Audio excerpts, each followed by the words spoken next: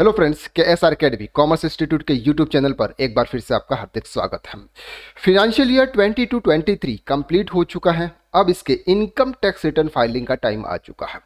तो income tax return filing के start कब से हो रहे हैं, उसकी एंड डेट क्या है? आईटीआर वेरिफिकेशन के अंदर क्या क्या चेंजेस हुए हैं? और आईटीआर फॉर्म के अंदर क्या चेंजेस हुए हैं? ये आज हम इस वीडियो के अंदर डिस्कस करने वाला है। वीडियो बहुत इंपॉर्टेंट है। वीडियो को लास्ट तक देखिएगा। अगर आप न्यू व्यूवर हैं प्लीज़ इस चैनल को जल्दी से जल्दी सब्सक्राइब कर लीजिएगा। चलिए, सबसे पहले हम शुरू करते हैं कि स्टार्टिंग डेट क्या होती है। हमारा जो फाइनेंशियल ईयर होता है, वो थर्टी फ़र्स्ट मार्च को कंप्लीट हो जाता है। थर्टी फ़र्स्ट मार्च एक अप्रैल से न्यू फाइनेंशियल स्टार्ट हो जाता है, यानी कि फाइनेंशियल ईयर 22 असेसमेंट ईयर 23 24 के जो रिटर्न होते हैं, वो लगभग अप्रैल के सेकेंड वीक तक आ जाते हैं। यानी कि अप्रैल 2023 के सेकेंड वीक तक आ जाते हैं एज वेल एज जैसे प्रीवियस टाइम पे आए थे। इस बार भी हम एक्सपेक्ट कर रहे हैं कि गवर्नमेंट से कि अप्रैल के थर्ड वीक में ये रिटर्न आ जाए, और पहले आई टी और आई टी ऑफलाइन यूटिलिटी के द्वारा आएँगे। ऑफलाइन यूटिलिटी आप इनकम टैक्स पोर्टल पर जाएँगे, वहाँ पे वहाँ आपको अवेलेबल हो जाएँगे। तो आई टी वन और आई टी फोर पहले आपको अवेलेबल हो जाएँगे। इसके बाद जो रिटर्न से I T R two I T three और I T R five six ये आपको बाद में ऑनलाइन या फिर ऑफलाइन दोनों मोड में ओपन हो जाएँगे आपके लिए। इसके बाद हम बात करते हैं कि सर उसकी लास्ट डेट क्या है? यानी कि sir income tax return filing की लास्ट डेट भी कुछ हुई है, इसके बाद उनको पेनल्टी लगाते हैं।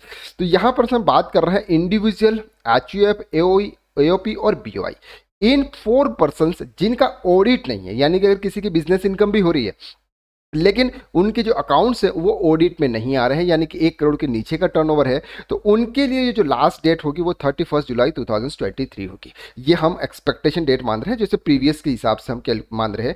चेंज भी हो सकता है, इस पर गवर्नमेंट के नॉम से हिसाब से गवर्नमेंट चेंज भी करें, वो भी। लेकिन थर्टी फ़र्स्ट जुलाई 2023 लास्ट डेट होती है। अगर किसी का बिज़नेस है बिज़नेस से इनकम हो रही है और उनकी बैलेंस शीट फाइनल हो रही है, यानी कि बैलेंस शीट ऑडिटेड हो रही है जो बैलेंस शीट ऑडिटेड में है, उनके जो पर्सन होते हैं, यानी कि जो इंडिविजुअल्स का जो पर्सन है, उसके जो रिटर्न है, वो थर्टी फ़र्स्ट अक्टूबर 2023 तक फ़ाइल होगी। यानी कि ऑडिट की जो लास्ट डेट होती है, वो थर्टी सितंबर होती है। थर्टी सितंबर के बाद में आपको एक मंथ और दिया जाता है उन पर्सन के लिए जिनकी फॉर्म ऑडिटेड है। एंड रिवाइज रिटर्न के लिए आपके पास में डेट देखिए सर थर्टी दिसंबर टू अगर आप इनके रिटर्न फ़ाइल कर रहे हैं तो इकतीस जुलाई तक रिटर्न फ़ाइल कर लेते हैं। इकतीस जुलाई के बाद में क्या अगर आपको कुछ पता चलता है मिस्टेक है, अगर रिटर्न रिवाइज करना चाहते हैं तो थर्टी दिसंबर 2023 तक रिवाइज कर सकते हैं। इसके बाद सर हम बात करते हैं। कि अगर आपने इनकी ड्यू डेट तक रिटर्न फ़ाइल नहीं किए तो भी आपकी ये जो लास्ट डेट होगी वो थर्टी फ़र्स्ट दिसंबर 2023 होगी।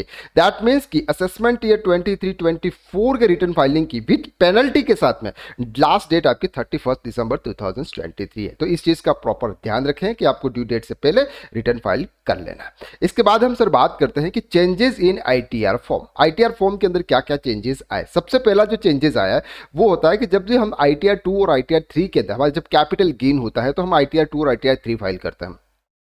उसमें सेपरेट शेड्यूल आ गया है सर क्रिप्टो इनकम का। अगर आपकी क्रिप्टो से इनकम हो रही है तो आपका सेपरेट शेड्यूल से आ गया कैपिटल गेन के अंदर तो वो आपको वहाँ पे अपनी इनकम दिखा रही है। दूसरी बात हम यहाँ पर बात कर रहे हैं, सर अगर आप सेपरेट इंट्राडे ट्रेडिंग कलेक्शन, यानी कि सर इंट्राडे अगर आप कोई कर रहे हैं तो वहाँ पर भी आपको आई टी में सेपरेट दिखाना पड़ेगा। इसके बाद हम बात कर रहे हैं सर आई टी और आई टी में। अगर आप ओल्ड टैक्स रिजाइम से न्यू टैक्स रिजाइम में जाना चाहते हैं तो आपके लिए एडिशनल क्वेश्चन आपसे पूछे जाएँगे, वो आपको वहाँ पर रिप्लाई करना है। और आई थ्री के अंदर और है, सर फैमिली मेंबर्स रिसीव अगर आप किसी फैमिली से लोन या एडवांस में अगर कोई रिसीव करते हैं तो इसकी भी डिटेल आपको सेपरेटली प्रोवाइड करनी है। वो बात कर रहे हैं, sir I T R three की। I T R three four I T R three यानी कि, sir I T R one और आई टी आर फोर का तो कोई प्रॉब्लम नहीं है। लेकिन यहाँ जो बात कर रहे हैं, ये आई टी आर थ्री और आई टी आर फोर यहाँ पर जो आई टी आर फोर की बात हमने की हुई है तो नॉर्मल है, सर। अगर आप ओल्ड टैक्स रिज़र्व से न्यू टैक्स रिज़र्व में जाना चाहते हो तो। इसके बाद बात करते हैं सर आईटीआर वेरिफिकेशन जैसे ही हम इनकम टैक्स रिटर्न फ़ाइल करते हैं, हमें अपने आईटीआर को वेरीफाई कराना होता है। यानी कि हमने जो कुछ भी डिटेल वहाँ पर प्रोवाइड की है, वो डिटेल हमने ही प्रोवाइड की है, इस तरह से वेरीफाई करना होता है। तो पहले जो वेरिफिकेशन का जो टाइम था, वो आपको फोर मंथ का दे रखा था।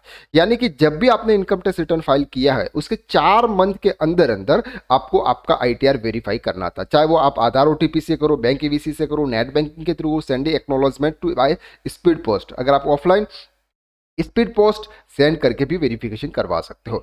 अब उसकी जो डेट है टाइम है, वो थर्टी डेज़ कर दिया गया है। यानी कि सर, पहले चार महीने से आप वेरीफाई करा रहे थे, अब उस टाइम को कम करके थर्टी डेज़ करा दिया। यानी कि इनकम टैक्स डिपार्टमेंट बहुत स्पीड हो चुका है तो साथ साथ में आपको भी स्पीड होना ही पड़ेगा। तो अभी जो ड्यू डेट है उसकी, यानी कि जब भी आपका आईटीआर फ़ाइल हो जाता है, उसके 30 दिन के अंदर अंदर आपको आपका आई वेरीफाई कराना। अगर नहीं कराते हैं तो आपका आई इनवैलिड माना जाएगा।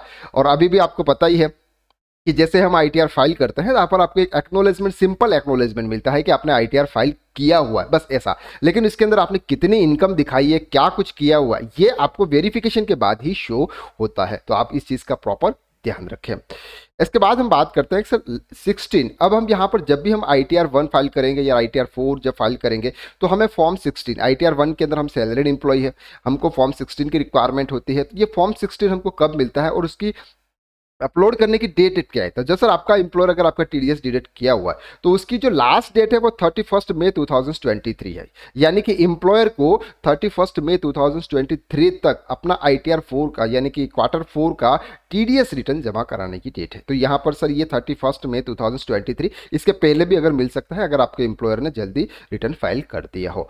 अब यहाँ पर सर आपको चीज़ ध्यान रखनी है कि जब भी आप इनकम टैक्स रिटर्न फ़ाइल करें assessment year twenty three twenty four का, उसमें आपको क्या क्या याद रखा। सबसे पहले आपको ये ध्यान रखना है कि सर आपका जो आधार कार्ड है, वो आपके पैन कार्ड से लिंक है या नहीं? अगर आपका आधार कार्ड, अगर आपके पैन कार्ड से लिंक नहीं है तो बहुत प्रॉब्लम्स हो जाएगी। दूसरी बात बात कर रहे हैं कि सर टी अपडेटेड और नॉट फॉर लास्ट क्वार्टर अगर आप इनकम टैक्स रिटर्न फ़ाइल कर रहे हैं, अगर आपके पास में ऑफलाइन यूटिलिटी भी आ गई इनकम टैक्स की, और आप इनकम टैक्स रिटर्न फ़ाइल कर रहे हैं तो उसमें प्रॉपर तरीके से चेक कर ले कि आई टी का जो भी टीडीएस है, वो आपका अपडेटेड हो चुका है या नहीं हो चुका है। अगर आप थर्टी मई से पहले अगर आप रिटर्न फ़ाइल कर रहे हैं और आपका टीडीएस है, जो अभी तक अपडेट नहीं हुआ है तो वो आपको प्रॉपर चेक करना है। इसके बाद हम बात करते हैं, sir check bank is verified जब भी हम बैंक ऐड करते हैं, यानी हमारी जो भी बैंक होती है, हमें एक बैंक की डिटेल्स देनी होती है, जितने भी बैंक है, उन सभी बैंक की डिटेल्स देनी होती है। लेकिन जिसमें आपका रिफंड आ रहा हो जिसमें आपका रिफंड आ रहा हो, वो बैंक वेरीफाइड होना चाहिए। तो जब आपका बैंक वेरीफाइड है तो ही आपका रिफंड आएगा। तो प्रॉपर तरीके से आप चेक कर लें कि आपका ये जो बैंक है, वो वेरीफाई है या नहीं। तो आज के वीडियो में हमने बहुत कुछ देखा। आई होप कि आपको इस वीडियो में जो कुछ भी बताया गया, वो आपको सही सही क्लियर हो चुका है। अगर आपने अब तक हमारे चैनल को सब्सक्राइब नहीं किया है तो जल्दी से जल्दी इस चैनल को सब्सक्राइब कर लीजिएगा। आज के लिए बस इतना ही। नेक्स्ट वीडियो में फिर मुलाकात करते हैं। तब तक के लिए थैंक यू सो मच